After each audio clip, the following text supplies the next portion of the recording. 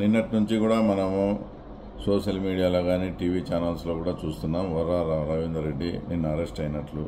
తర్వాత ఇప్పుడు కూడా డిఐజీ కోయా ప్రవీణ్ గారు ఆయన ఇంకా అరెస్ట్ కాలేదని కూడా ఇవ్వడం జరిగింది. అంటే మనం ఒక ఒక విషయాన్ని సునిశ్చితంగా కనుక గమనిస్తే వైసీపీకి చెందిన సోషల్ మీడియా వల్లే నిన్నంతా కూడా వర్రా రవీందర్ రెడ్డి అరెస్ట్ అయినారని పెట్టడం. తర్వాత మళ్ళీ వాళ్ళే ఈరోజు తప్పించుకున్నాడని మళ్ళీ వాళ్ళే పెట్టడం. ఇదంతా చూస్తూ ఉంటే దీని వెనుక భారీ కుట్రకోణం ఏదైనా దాగి ఉందేమో అనే అనుమానం కలుగుతుంది. అంటే ఎందుకంటే ఈ ఇప్పుడు అరెస్ట్ అయినామని చెప్పడం వాళ్ళే వాళ్ళే తప్పించుకున్నామని చెప్పి వాళ్ళే అతనికి ఏదన్నా కానీ ప్రమాదం సృష్టించి అతన్ని క- అతని ప్రాణానికి ఏదన్నా హాని చేసి అప్పుడు ఆ నెపం అంతా కూడా ఆంధ్ర పోలీసుల మీద కానీ అలాగే తెలుగుదేశం పార్టీ మీద వేయాలనే ఒక భారీ కుట్ర జరుగుతుందనేది అనేది వచ్చి స్పష్టంగా మాకు అనుమానాలు వస్తున్నాయి.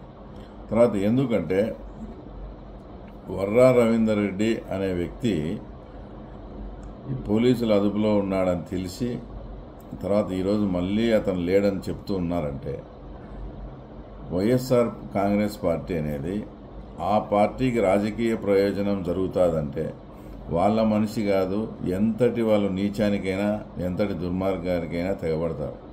ఈరోజు వర్రా రవీందర్ రెడ్డికి వాళ్ళే ఏదన్నా ప్రాణహాని చేస్తే అది తప్పకుండా ఆంధ్ర పోలీసుల మీద కానీ ఆ తర్వాత కూటమి ప్రభుత్వం మీద పడుతుందని ఆలోచన చేసి అతనికి ప్రాణానికి ముప్పు ఉందనేది వచ్చి ఖచ్చితమైన మా అభిప్రాయం. అలాగే నిన్నైతే పులివెందుల్లో పిఏ రాఘవరెడ్డి ఇంటి దగ్గరికి పోయినారు. ఈ రాఘవరెడ్డి అనే అతనికి అంతకుముందు గతంలో వివేకానంద రెడ్డి హత్య విషయంలో కానీ ఇప్పుడు వర్రా రవీందర్ రెడ్డితో ఈ రెండు మూడు రోజుల నుంచి కానీ కంటిన్యూస్లో టచ్లో ఉన్నాడు.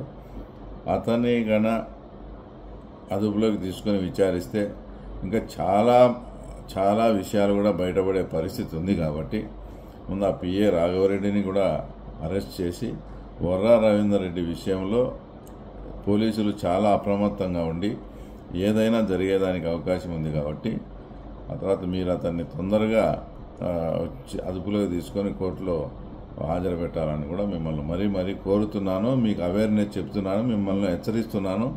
వాళ్ళే ఏదైనా ప్రమాణం చేసి మీ మీద తోసే పరిస్థితులు స్పష్టంగా అనుమానాలు ఉన్నాయి కాబట్టి దయచేసి వచ్చి మీరు ఆ విషయంలో అప్రమత్తంగా ఉండి అతను ఎక్కడ ఉన్నా కూడా తొందరగా వెతికి పట్టుకోవాలని అతను మీ ద్వారా కోరుతా ఉన్నాను.